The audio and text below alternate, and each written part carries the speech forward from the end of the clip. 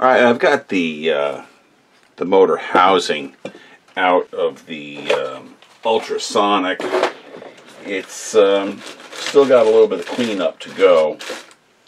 Um, down here in the there's still some crud that's kind of caked on that didn't want to come out and uh, I did find myself having to use some um, some of these brushes here.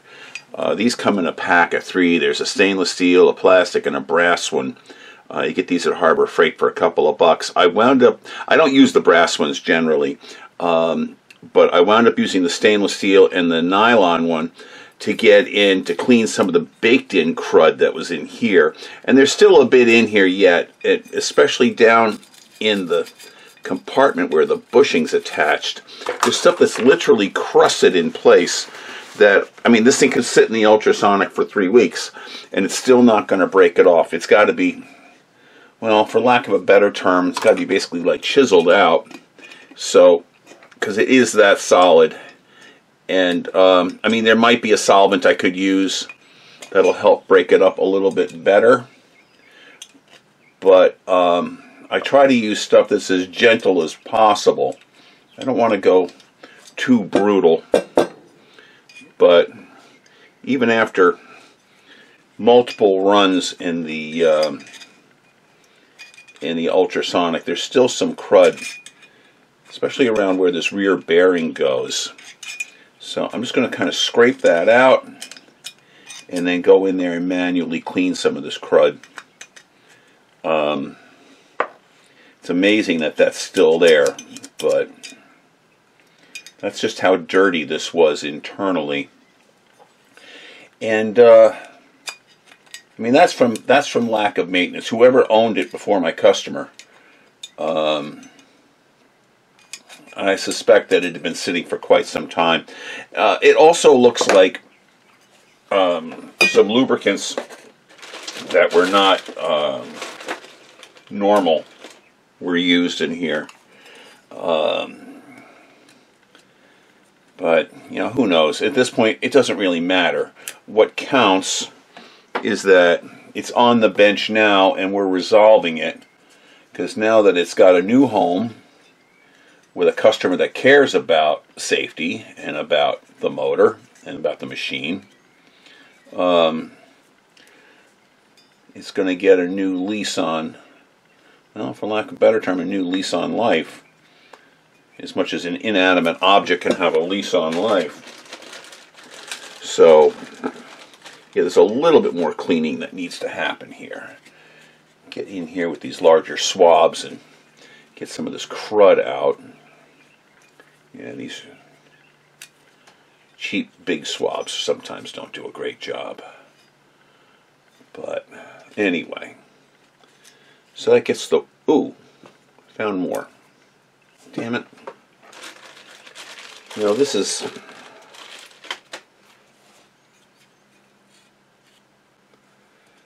this, just, this is the gift that keeps on giving.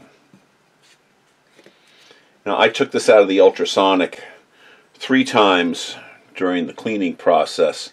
Took it to the sink and used scrub brushes and hot water and flushed and just to get crap out.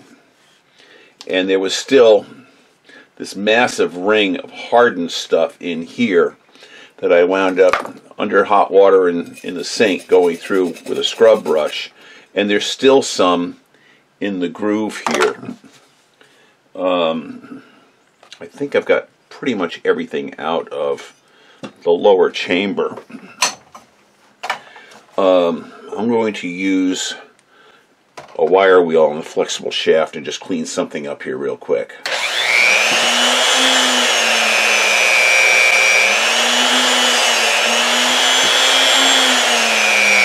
I'm just getting it out of the groove. There's a lot of crud in the groove that it's just not coming out. I can get it out with this.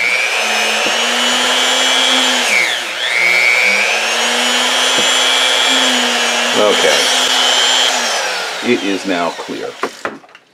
Um, other issues. Uh, yet more. This really is, and I'm not gonna I'm not gonna put it back in the ultrasonic. It's this is just a matter of oh maybe that wasn't yeah it was. This is just a matter of getting the residue out. And unfortunately, the shape of this housing, there's sections that are a little difficult to uh, extract from. And I did take this out to the garage shop where the big air compressor is.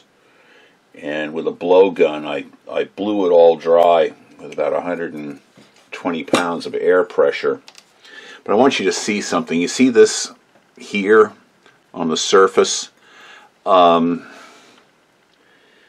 some of that's dirt. Yes, it was. It just spent better part of an hour in the ultrasonic. Some of that's dirt, and some of that is shellac that's in bad shape. But I'm going to go over that with a little bit of sewing, uh, sewing machine oil and a paper towel. And that's going to clean some of that. That will actually clean some of that off that the ultrasonic didn't get. And um, anyway, I'm going to continue working on this. And then we're going to come back in a few and we're going to tackle a couple of other operations on this motor and do the reassembly.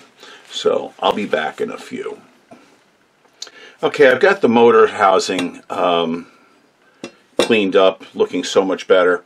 Um, I'm going to have to take the armature assembly over to the bench motor. This will get chucked in the motor and um, excuse me, I'm going to use the foam core nail files to um, clean and level the commutator bars. Uh, but before I do that, there's other portions here. You can see how this grease cap screw, how crusty that is. Uh, and that came out of the ultrasonic and it's still crusty. Likewise, this one is crusty on the um, bearing surfaces for the for the armature. The stuff was just crusty crusty crusty on that. So we're going to tackle a couple of these parts before I go ahead and do the armature. Um, the grease clips came out pretty clean. And there's a little bit of residue in this one yet. We can clean that out. Um, these things you know these these parts are going to be um, completely covered in grease, or I should say, the, the, the grease, the clips for the grease wicks, they're going to be completely encased in grease. So we want to get this old crap off of here before we put the new crap on. Just make sure that that's clean. That is okay. Um, I did put the worm in um, the ultrasonic, and honestly, the worm is best done, at least as far as I'm concerned. I tend to run it under hot water. I use one of these stainless steel brushes and I go through the worm. I just rotate. I've got Dawn dish soap on the uh, on the worm as well as on the brush and I go through like this and I just scrub scrub scrub and I get all the stuff out of the worm itself rinse and then I toss it into the ultrasonic uh, to get any extra residue off and um, but that I find that's the best way of doing it. Um, these armature bushings, I have advocated for having um, a set of these punches, and I'm going to show you how I do the armature bushings. I take this punch is the what size is that one? This is the 932nd. I use the 930. I'm using the 932nd punch. Now this still has a little bit of residue of crud on it, so I'm going to use once again my flexible shaft tool and wire brush. I'm going to wire brush this off, get the crunchy stuff off of it. It's off the exterior. Likewise, this one has a lot of crunchy stuff still on it. Actually, this has got crunchy stuff inside of it to the point where that doesn't want to come through. There we go. We're going to have to do some internal polishing on this one. I'm just going to use this to knock off the crunchy stuff.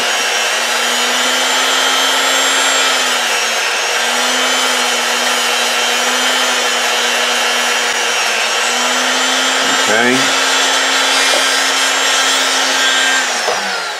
Now, the um, the bore of this one is kind of messed up. So, actually, really quick, just going to check.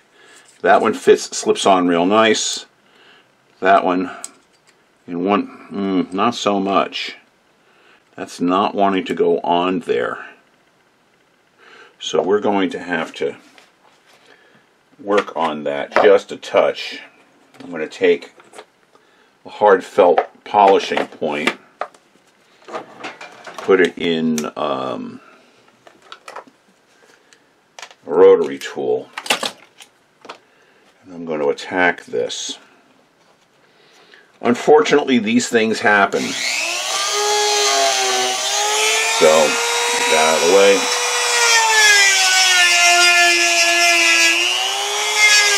Going to use that to get the crunchy crap out of the way. I didn't really tighten that well enough, I don't think.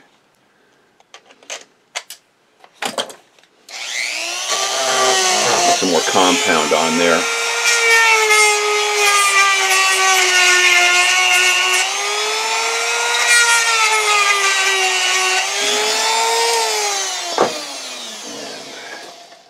Let's wipe dirt.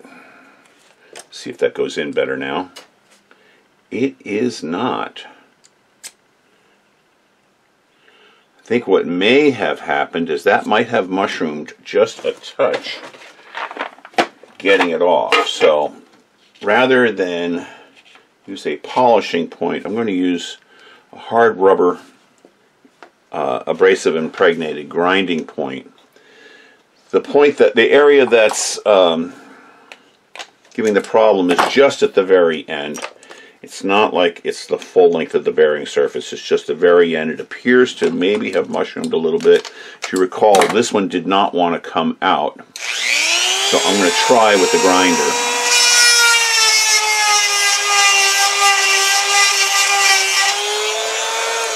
Just touch that a little bit. We'll see if that slips back in. Hmm, getting there. I can examine on this and I see where the problem is. Okay. Once again, I'm only going to be doing the very, very end of that opening. This is sometimes necessary. It's not going to hurt anything.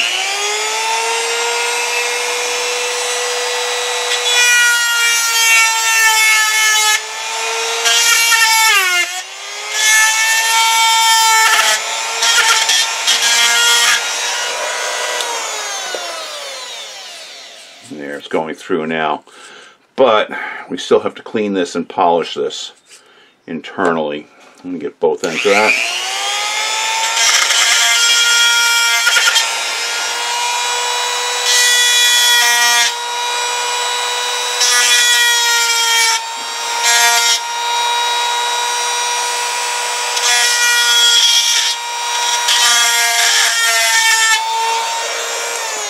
Okay. Now we're going to polish the crap out of it. First, I'm going to go over it with the hard rubber impregnated. That'll get, that'll clean that up a little bit more. Just the end is all I'm doing. Basically coning the end out a little bit there.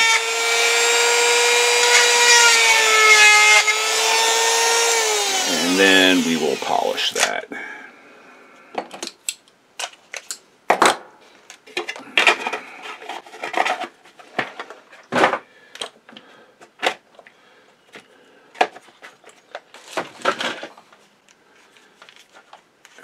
To use a cone shape.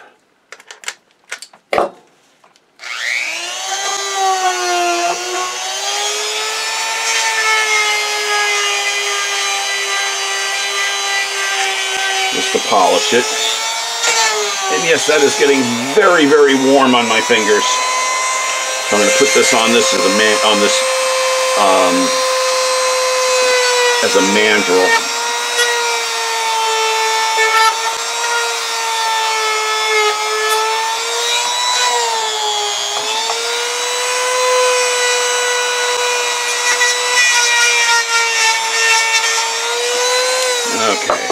Okay, inside of that is polished. Clean out the goo. Or I should say the buffing dirt. Let's see how she fits on here. Much, much, much, much, much nicer. This shaft is still dirty. I'm going to be cleaning that on the bench motor.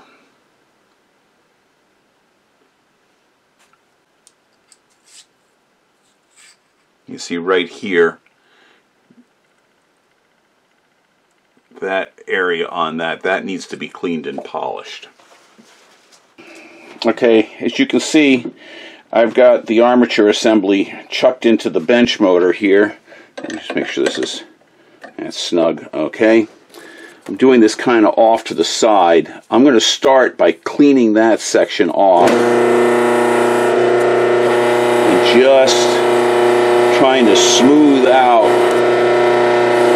that nasty section on the uh, on the shaft with a foam core file. Let me bring over that bushing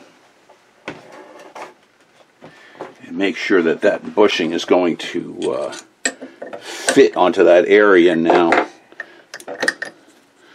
And Oh, that's so much better. We're going to get the rest of this crap off too. That bushing fits really, really nice. It was that area here on the shaft that was the problem. Uh, but we're going to clean the, this end up as well. Let's really do that end of this bushing real fast. I'm just going to chuck this in to the Jacobs chuck.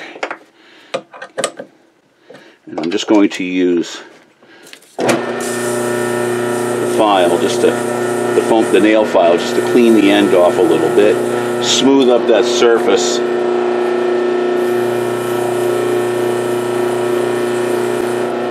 it's the problem when you have something that's been sitting for a long time and the crud has built up is getting the crud off and getting the mating surfaces nice sometimes can be a real pain in the patoots. Get that out of there. And now that mating surface is looking so much better now. Okay. Actually, I'm going to do a little bit more surgery on that. None of that, none of those scratches are sticking out, but I am going to do what I can to eliminate them even if it means taking a thou or so off at the end of this with the nail files.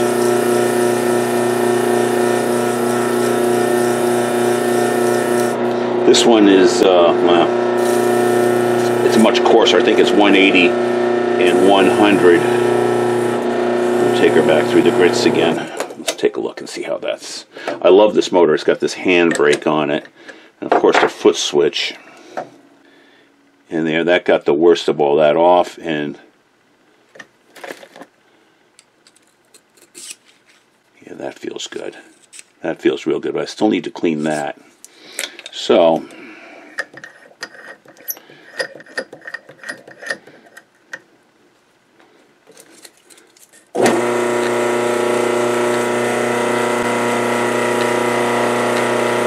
Now I'm not going to be able to do the full length of the shaft this way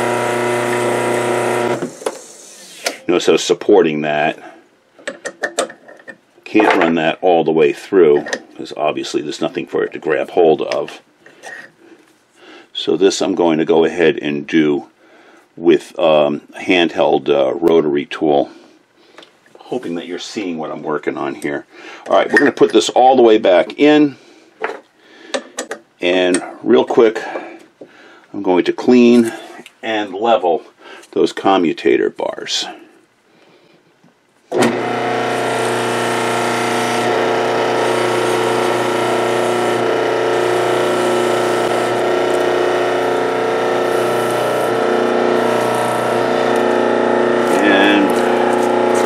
it will take, where did I put my, oh here it is, okay.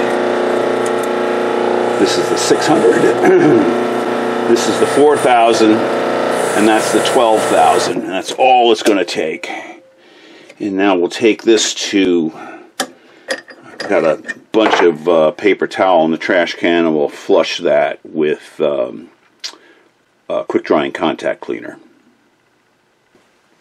As you can see, those commutator bars look so much better and yeah, quick drying contact cleaner to the rescue is very important if you're going to either use a drill or a bench motor to spin this to clean those flush it well flush those commutators well with quick drying contact cleaner to get any brass residue out of from between the bars and you don't really need to wipe it down that stuff does dry pretty quickly um, I had mentioned that I was going to do this with a rotary tool. I am not. I am going to just take this to the buffing wheel and just lightly buff that. So give me a moment. That's all that took. So as you can see, the bushing goes on nicely and the bushing goes on nicely and I haven't even done this one yet. Um, on the bushing that goes in the end of the of the cab of the uh, housing, You'll note that the end that points out is threaded because there's a well, there's a screw in that pile that screws into this. So when you're putting this back together, um, a couple things you need to be aware of. Uh, there are set screws which I have removed here, and there is the hole in the in the uh, casing down here where the grease wicks come through. There's a hole here and there's a hole here in the grease ports. The grease wicks go through that. There are corresponding flat spots on the bushings that go with the um, with for the set screws and a corresponding hole through the bushing that the grease wick is going to come through. So yeah, you have to do a little, play a little game and line them on up and uh, make it work. So that's what we're going to do now. Um, Actually, no, we're going to save that for the next video. Um, this was just the cleanup portion. Um, you can use your imagination. I'm, well, you don't have to. I'll demonstrate. One, real quick. Wire wheel, and I'm just going to wire wheel the crap out of the knurling and off here, just cleaning this off to get the crud out of the knurling wire wheel the heck out of this. Of course, I am wearing safety glasses, as you should be whenever working with these rotary tools. Get the crud out of the holes, and uh, what the hell, we'll do this one too. Just get the crap off. It's slinging in addition to safety glasses, wear a damned apron. Um, guys, there's no shame in wearing an apron, a shop apron. If you, especially if you don't do your own laundry. If somebody else is doing your laundry for you, and you're not paying them to do your laundry, actually, regardless, just be nice to your clothes. But if you have a significant other who is doing your laundry and you're not, and you're not wearing an apron, you're not being nice to your significant other. And that goes both ways, not just for the guys, but for the gals too. But anyway, so yeah, there's that. That's as far as I'm going to take that for this video. I'm trying to keep these a little shorter than I traditionally do. We will come back for the next installment and we'll actually do the reassembly now that we've gotten this crap clean. Thanks for watching. We'll see you on the next one.